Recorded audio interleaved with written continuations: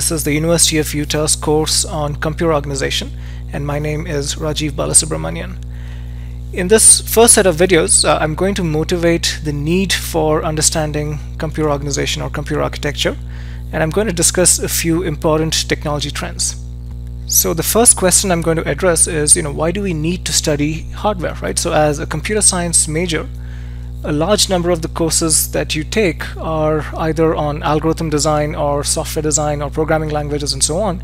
There are very few classes where you actually open the hood of your computer system and look at the underlying hardware. And, and why is that important? Why is it important to get your hands dirty in terms of understanding the underlying hardware, right? So here are three important reasons why you need to understand this. The first is that Moore's law is on a steady decline. So what is Moore's law? So Moore's law dictates that the number of transistors on a chip is going to double roughly 18 to 24 months. And this is a curve that we've been riding for the last many decades, right? So every two years, your performance roughly almost doubles.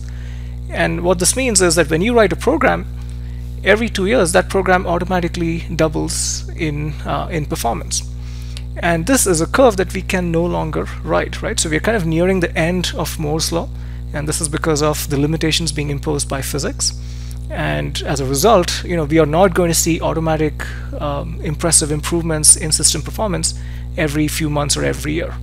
So as a programmer if you want your your application's performance to improve every year this is something that you may have to do by yourself.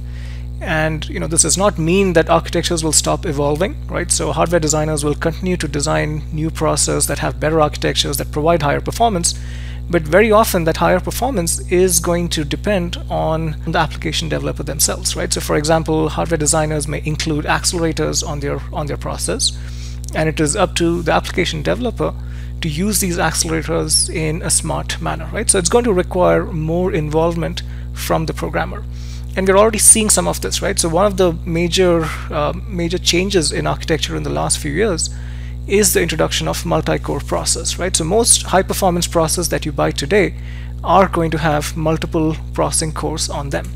And it is up to the programmer to write an application that can be partitioned into multiple threads that can all run in parallel on these many cores on the processor, right? So we're already seeing uh, this, this emerging hardware where the improvement in performance is not automatic but requires some involvement from the programmer. So it's more important for the programmer to kind of understand what's happening under the hood and understand how the hardware actually behaves. We're also seeing an emergence of new platforms, right? So when you create an application, that's an application that sometimes runs on a tablet, sometimes on an Android phone, sometimes on an Apple phone. It also may run on a cloud backend, and you will see a variety of hardware within the cloud, right? So uh, a single application runs on a variety of different architectures and on, and on a variety of different systems. And you might see you know, varying performance levels or varying energy levels on each one of these systems. And so to reason about why your program behaves in a certain manner on each system, you need to understand the hardware a little bit more, right? So uh, knowledge of the hardware helps programmers or helps computer science majors reason about their code and write better code the argument for why to study hardware is a little bit more obvious for someone that's doing a computer engineering major, where you're either building an embedded system or you're designing a chip or writing an operating system or a compiler. All of these uh, aspects are very closely tied to the hardware, right? So the operating system, you know, makes system calls and understands the resources on the hardware. The compiler is actually producing assembly instructions that are directly being uh, being understood by the underlying hardware. And of course, as a chip designer, you know you can't begin unless you have some understanding of what the components on your chip are, right? So I think it's much it's much easier to make the case to a computer engineering major that you absolutely need to study what a chip looks like and what the hardware looks like. So just as an example of what you will learn during the class and how that is useful, let me just go through this example that's mentioned in the textbook. And for the most part, these videos will follow the textbook written by Hennessy and Patterson, the computer organization hardware software interface textbook. So they provide an example of matrix vector multiplication. And if you write your program and run it on a naive piece of hardware, you'll get a certain level of performance. But then, you know, as you go through the chapters in the textbook and as you design a better processor, you will see the performance of that application improving uh, over time, right? So once you introduce data level parallelism techniques, you see a boost in performance by about 3.8x, right? And of course, we'll talk about what this is much later. The subsequent chapters will talk about loop unrolling, out of order execution, which is like which is a hardware technique to improve performance. That adds another 2.3x in terms of performance. And then we'll talk about the memory hierarchy and how a technique such as cache blocking can further improve performance by 2.5x. And then finally, we'll leverage multi-core processors and thread level parallelism to get a 14x improvement in performance, right? So as you go through the different chapters in the textbook, you'll be introduced to various innovations uh, that can provide a 200x boost in performance. And this is performance that you would not have unless you have a deep understanding of the hardware and know how to perhaps restructure your application to take advantage of these hardware features. Alright, so hopefully I've motivated uh, this class and convinced you that this is an important class to take. Let me now shift gears and talk about important technology trends. So in this figure, what I'm showing you is performance over time. So we'll see that you know there's a stretch of almost 20 years in between over here where performance was increasing by about 52% every single year.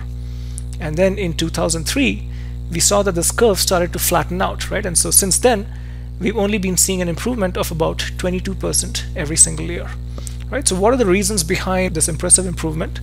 And what is the reason behind the recent decline in this improvement? So firstly, you know, during the stretch, we were seeing the number of transistors doubling on the chip every 18 to 24 months following Moore's law. And what we see here is that performance kind of tracks the improvements, you know, because of Moore's law, right? So as we got more transistors, we found a way to put those transistors to good use. We also saw our transistors getting faster, and that led to faster clock speeds. If you don't quite understand what a clock is, this is something we'll cover uh, a few videos later. But uh, the bottom line is that you know because of architectural improvements, because of faster speeds, we ended up seeing this improvement of about 50% every single year. And then, you know, around 2003, there were a couple of things that happened. So the first one is that we hit the power wall.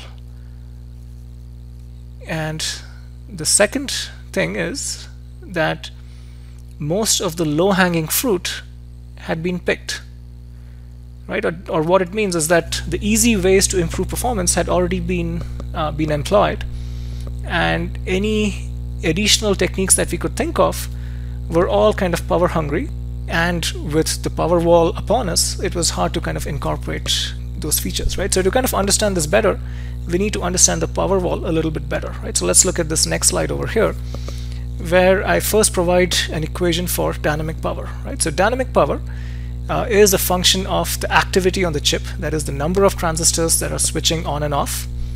It is a function of the capacitance of each of those transistors. It is also a function of the voltage that those transistors are operating at, and in fact it's voltage square. And then finally the frequency, that is, you know, in a second, how many times are those transistors switching on and off. So with Moore's law scaling, you know, as transistors became smaller, we had more transistors on a chip. As a result, the activity on the chip also increased. But the capacitance per transistor was also kind of decreasing, right? Because the transistors became smaller. We were also able to reduce the voltage that these transistors were operating at. So voltage was going down.